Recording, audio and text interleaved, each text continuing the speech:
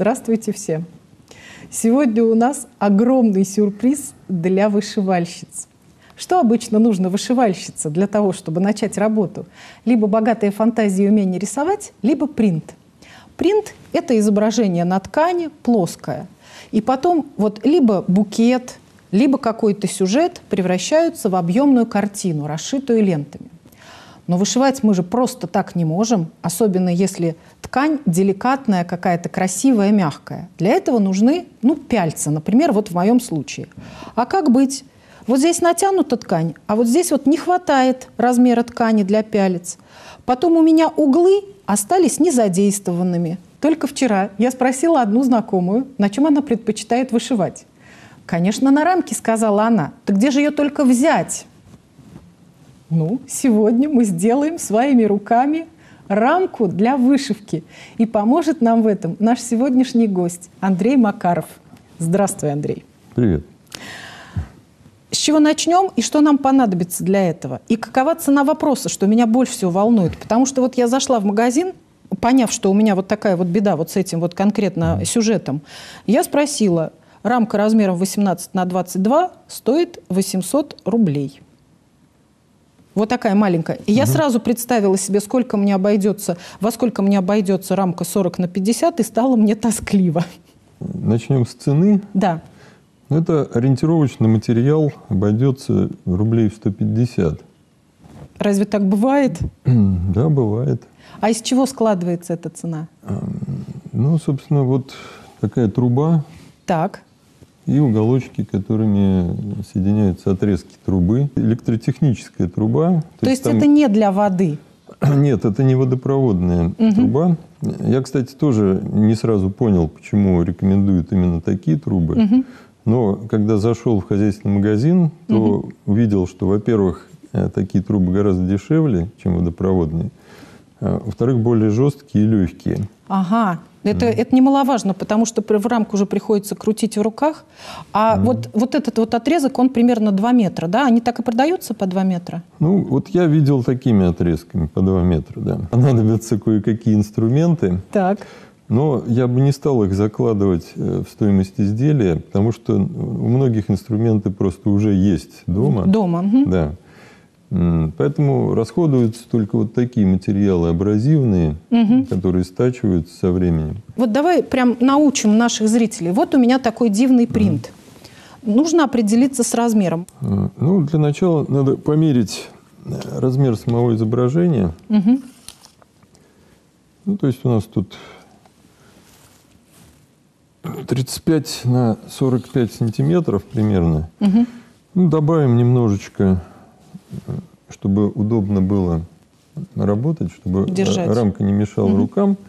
Ну, в данном случае получится у нас э, внутренние размеры рамки э, примерно так, ну, 40 на 50 сантиметров. Мы будем не 50 сантиметров отмерять на длинную сторону, Ага. а надо помнить, что вот этот уголок, так, сейчас я, вот, а он добавит нам немножечко, ну вот, буквально миллиметров 7 на каждую сторону. То есть получается, что нам надо отпиливать примерно на 15 миллиметров короче трубу, чем мы хотим получить. Мы будем отпиливать э, не 50 сантиметров, а сколько у нас получается? 48 с половиной. Э, Приступаем. Приступаем.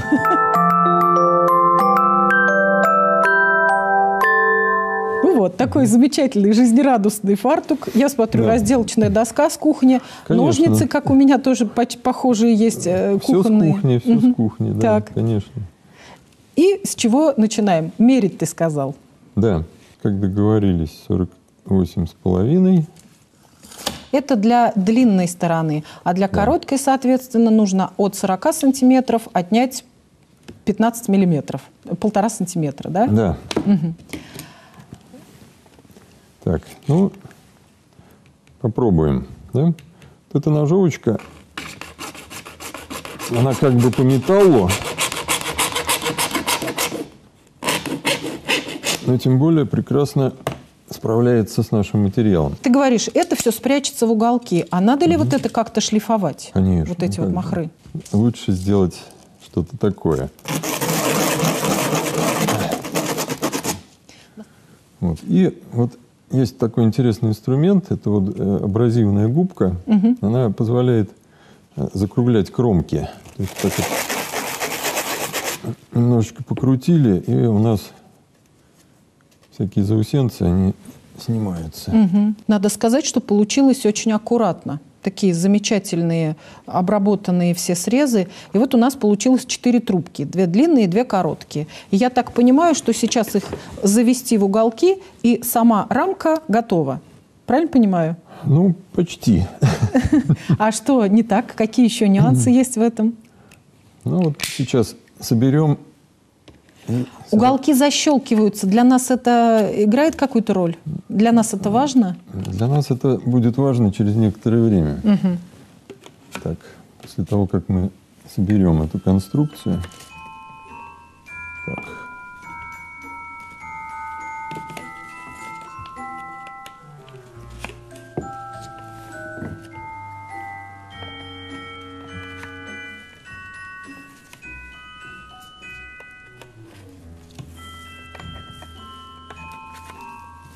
Вот. Мы вот ее собрали так. Ну, можем видеть, что она не, не Играет. жесткая. Да. Более Андрей, не того, пугай меня. Это исправляется, конечно же. Ну, если нам не нужна разборная, легко раз- разбираемая конструкция, Главное, чтобы она была надежной, чтобы можно было работать. А вот так вот работать не получится. Это я тебе Ну, как вышивальщица говорю. предполагаю, что да, будет сложновато. Мгм. Все это можно посадить на клей. Не надо забывать вот о некоторых вещах, например, о том, что перед склеиванием поверхности желательно обезжирить. Ага, это очень Да. важно. Обычно технология такая, что мы покрываем поверхность клеем, потом она сохнет несколько минут. А, Потом мы просто прикладываем, сжимаем эти детали, Мгм. и все склеивается. Поэтому мы можем обезжирить все, что у нас здесь есть, Мгм. а потом склеить А потом уже склеивать. всю рамку. Понятно. А, Для чего? Потому что потом, когда ткань будет натягиваться и прижиматься клипсами к этим трубам, то шероховатость по- позволяет ткани не выскальзывать из-под клипсы. Смазывается клеем об- обе поверхности. Да, тонким слоем клея смазываются обе поверхности. Можно даже стыки вот этих уголков промазать, Мгм. если уж мы хотим сделать совершенно монолитное изделие. Вот мне нравится этот подход. Пусть оно будет совершенно монолитным и очень надежным, и будет служить долгое-долгое время. Ну что, приступим? Да, очень интересно, что у нас получится. Да. Поняла. Да, мы не будем а, втыкать эту трубу в собранный уголок, ну, на всякий случай, потому что здесь есть вот рисочка специально, в которую упирается труба. Вот. И чтобы сгоряча не проткнуть ее глубже, чем надо, мы лучше уж э, сделаем сначала соединение в разобранном виде, а потом защелкнем второй половинкой. И вот. Ну, и не крутится. Вот смотреть заметить. со стороны так легко и просто получается. Да. Я потом проверю на всех четырех уголках. Мгм. Сейчас пока за, завершай работу, Ага. а уж потом я попрошу. Ну, я уж буду проверять, так проверять.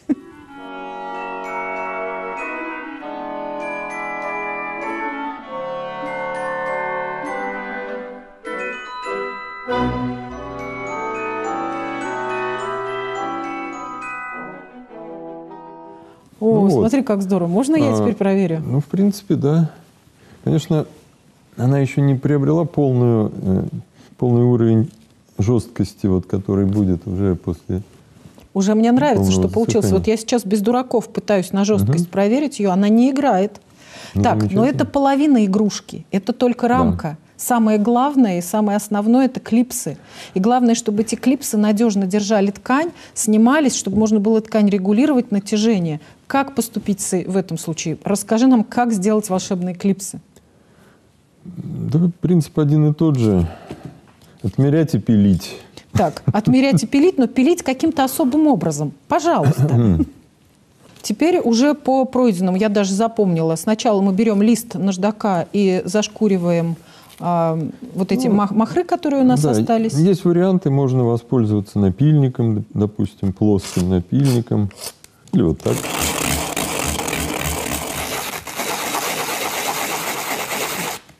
Это мы кромочки закруглили. Теперь для меня самое основное и самое главное, чтобы с течением времени вот эти клипсы также крепко держали ткань, как и при первом э, защелкивании их. Mm-hmm. Какой пропил ты делаешь, какой ты советуешь сделать пропил, чтобы надежность работы была обеспечена? По моему опыту э, нужно сделать вырез ну, э, около сантиметра. Около сантиметра, около даже меньше? Можно даже чуть меньше. Я очень вот. люблю всякие разные секреты, постигнутые на опыте. Да. Ну и дальше. А, как вариант... Как вариант нужно беречь пальцы. Да, вот э, очень важно беречь пальцы. Поэтому ни в коем случае палец не должен находиться под предполагаемой линией реза вот этого. Вот здесь опять замечательно подходит наша ножовочка – Но можно обойтись и без нее.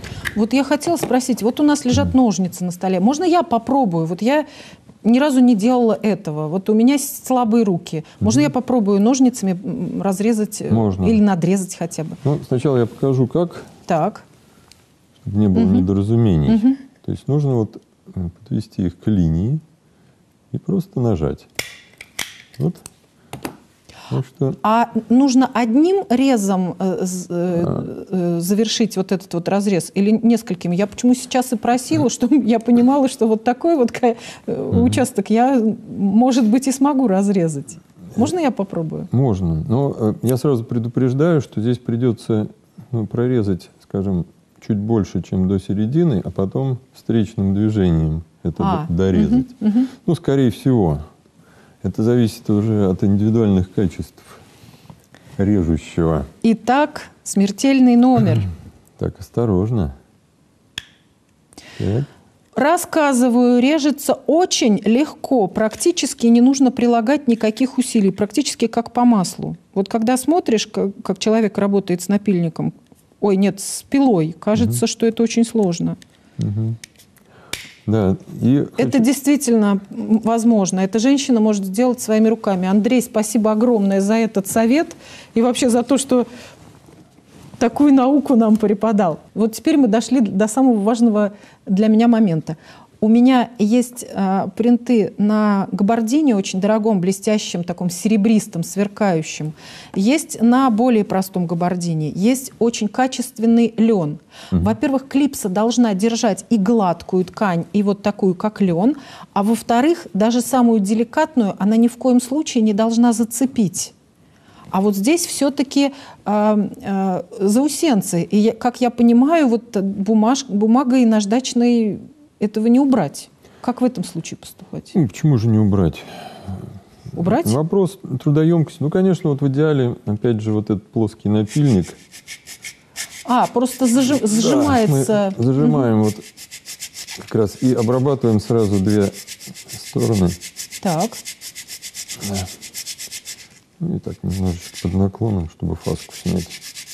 Теперь еще что нам в дальнейшем особенно пригодится, э, вот эти уголки. Да, вот я на них с ужасом смотрю. Да, они, конечно, могут повредить ткань. Да, да, да. Но мы их в любом случае будем сошлифовывать, просто чтобы облегчить себе эту работу, можно сразу ножницами чуть-чуть подстричь. Скруглить, ага. Да, буквально тут полтора миллиметра вот так отрезать, чтобы меньше работать напильником. А это тоже делается напильником? А, можно напильником. Если его нет, то все это можно с помощью абразивных каких-то материалов. Ну вот, например, вот эта наша губка знаменитая. Она как подушечка выглядит. Да. Она действительно мягкая на нажимание. Да, конечно, вот Ага. ей можно было бы и мыть посуду, но в последний раз. Вот. Вот такими движениями мы закругляем эти уголки. Продольный разрез его тоже надо обязательно обработать, потому что как раз это место, оно прижимает ткань и может ее порвать. Это тогда очень важно. Да. Вот об уголок вот этой губки замечательно там все снимается, все эти заусенцы. Вот. Ну, конечно, нет предела совершенству. Ну, то есть вот этому надо посвятить какое-то время, чтобы вот здесь вот была безупречная Я поверхность. Хорошо пощупать. Ткань выдержит. Да, думаю, да. Выйдет. Здесь Ну. нет никаких зау- заусенцев, все очень гладко. Здорово. И вот ценой неимоверных усилий у нас готовы клипсы подлиннее для длинной стороны и клипсы покороче для короткой стороны. И, как Андрей обещал, по три штуки на каждую сторону. Ну что, рама готова, клипсы готовы. Теперь наступает самый волшебный момент. Нам нужно натянуть ткань на нашу новорожденную рамку. Предоставляю эту честь мастеру. Андрей, пом- сделай, помоги, пожалуйста. Спасибо, но мне нужны будут инструкции, потому что рамку-то я сделал, но вышиванием я не занимаюсь, поэтому технология натягивания, ну, мне Рассказываю. неизвестно. Натягивается полотно таким образом. Сначала противоположные стороны коротких сторон, потом противоположные стороны длинных сторон. Или наоборот, как удобнее А. натягивающему. Хорошо, ну попробуем. Да, начинаем от центра. Все правильно. Так, ну, примерно одинаково. Так, и переходим сюда. Нет, лучше я поверну.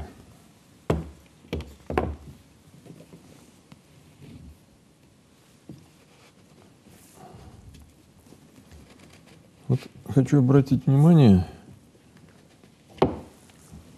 здесь явно маловато поля. Поля маловато, да. да, здесь бы хорошо было надставить. Но на этот счет могу дать совет я. Можно взять какую-либо ветошь и просто полосками пришить к нашему принту чтобы увеличить вот, это, вот вот эти вот поля. Здесь еще нормальные поля, здесь сантиметров по 7, бывают гораздо более маленькие.